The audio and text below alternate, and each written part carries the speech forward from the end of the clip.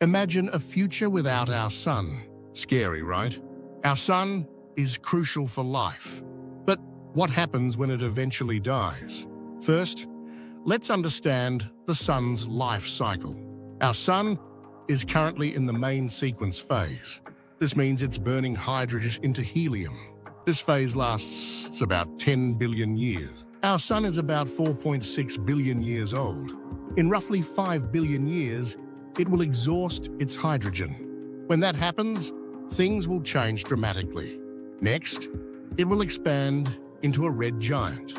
This phase will swallow nearby planets, possibly including Earth. The heat will make the planet uninhabitable. After becoming a red giant, the sun will shed its outer layers. This process creates a beautiful planetary nebula. Meanwhile, the core will collapse into a white dwarf. But what does this mean for humanity? By then, we must find ways to survive. Could we migrate back to other planets or live in space habitats? A scenario like this challenges us to innovate and adapt. Understanding our sun's fate prepares us for difficult decisions. In summary, our sun will die, but humanity must survive. We need to begin exploring options now.